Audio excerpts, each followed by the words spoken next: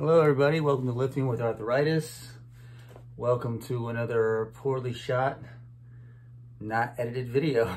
but if you're here for uh, some good tips and advice on working out with arthritis or lupus for that matter, uh, welcome.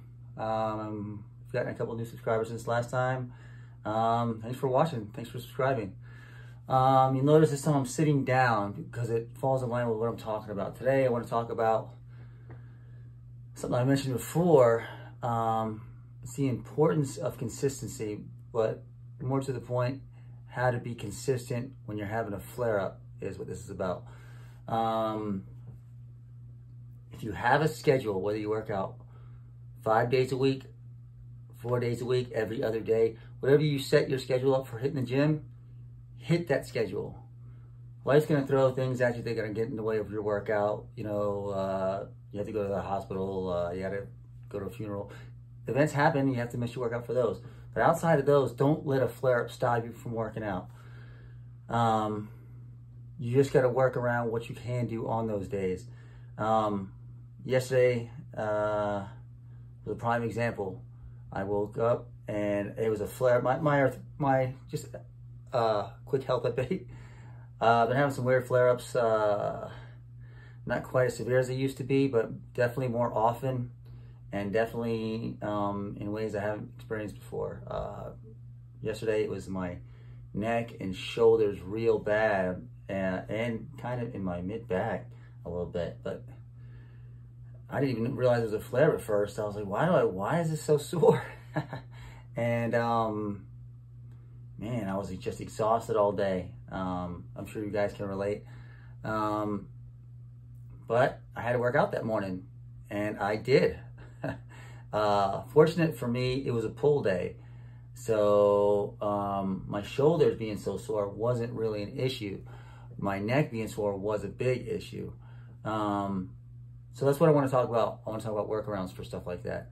Um, what I did, because it was a pull day, instead of doing the weighted pull-ups I normally do, I just did uh, body weight pull-ups. And if I couldn't have done those, I would have done uh, lat pull down. You know, you grab the cable and pull it down. I would have done those. Um, fortunately, I could do body weight pull-ups. It did hurt a little bit.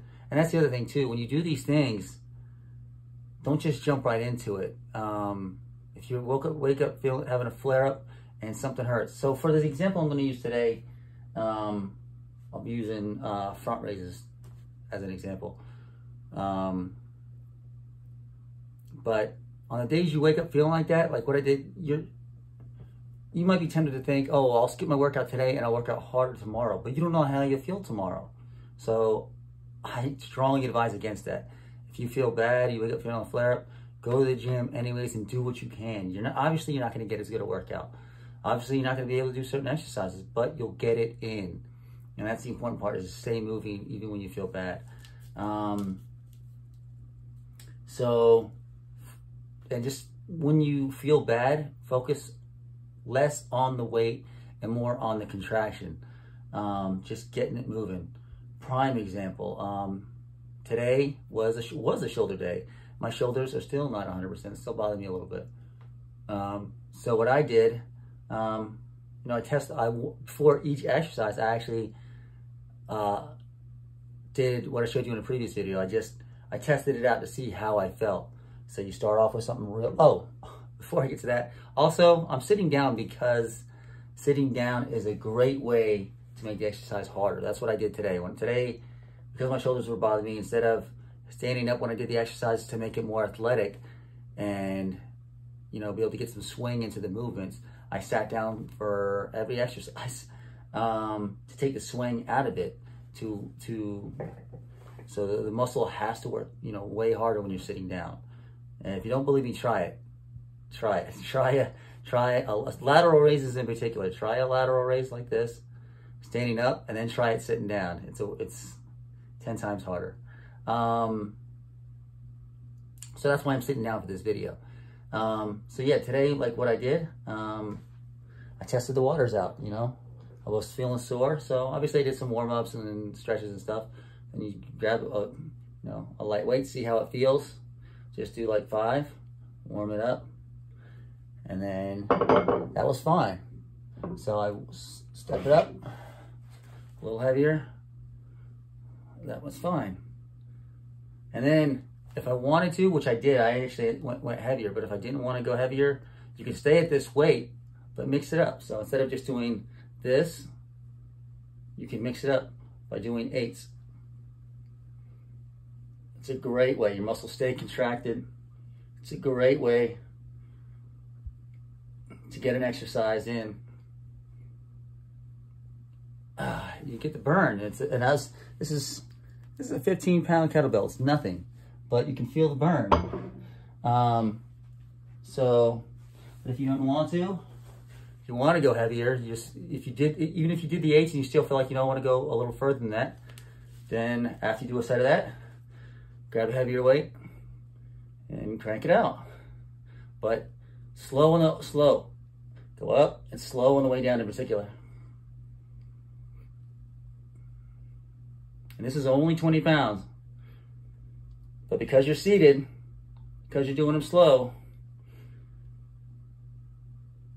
it spares the uh, like I'm I'm like I just told you I'm sore in my shoulders today, and that didn't hurt at all because I did them slow and methodical and just focus on the strain in the muscle. Um, I think that's all I really had for you. Um, trying to keep these videos short, so yeah. Um, don't skip your workouts is the point. Um, when you feel bad, keep moving. Um, prime example, there were several exercises I couldn't do yesterday when my flare was real bad in my neck. Um, so I skipped those exercises and I think they were only ended up being three exercises I could do comfortably. So that's all I did. But I got it in. I got it in full 45 minutes. I was sweating. I got up a good workout and I moved on. Um, and I'll tell you right now too, I felt better after. You know, the joints felt a little, felt more loose. Um, the flare didn't go away; it continued the whole day, but the but the joints did feel a little better after. Um, it didn't hurt me, um, and this is what I've always done. Um, I've had this condition for a very long time, so I can tell you, you'll be all right. Um, obviously, um, if you're new to the gym, you might want to consult the doctor first. Uh, my doctor looks at me like I'm crazy when uh, I tell her I weight lift but it works. Um, I feel great. Um, so I hope this helped you in some small way. Again, consistency. Try sitting down. Take the momentum out.